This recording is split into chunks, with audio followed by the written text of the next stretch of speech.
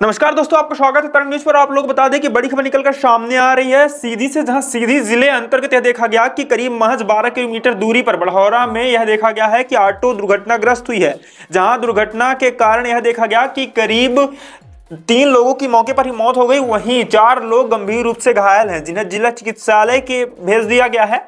वहीं बताया जा रहा है कि करीब तीन लोगों की मौके पर ही मौत हो गई है। जहाँ यह पूरा घटनाक्रम करीब आज दोपहर का बताया जा रहा है, वहीं यह जब पूरी दुर्घटना घटित हुई, वहाँ पर कई लोग भी मौजूद थे, उन्होंने उन्हें यहाँ पर उठवा करके जिला चिकित्सालय के लिए भिजवा दिया है, जहाँ करीब तीन लोगों की मौतों का मामला सामने आया वहीं चार लोगों की हालत गंभीर बताई जा रही है। बढ़ौरा का पूरा यह मामला बताया जा रहा है। बने रही तरंग पर, पूरी अपडेट जल्द देंगे।